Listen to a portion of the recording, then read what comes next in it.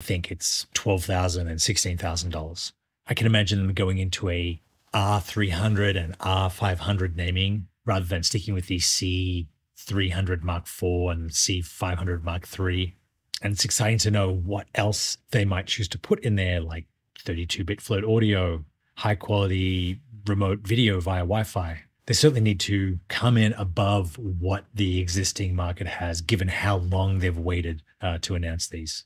Global shutter is also a possibility, though not something I think a lot of people are screaming for, at least in the uh, cinema and documentary market. So if you're in the market for a Canon cinema camera, be it full frame or Super 35, it doesn't look like we'll get an announcement until September and probably not delivery until uh, this time next year. But again, all just rumors, but these ones make a lot of sense to me.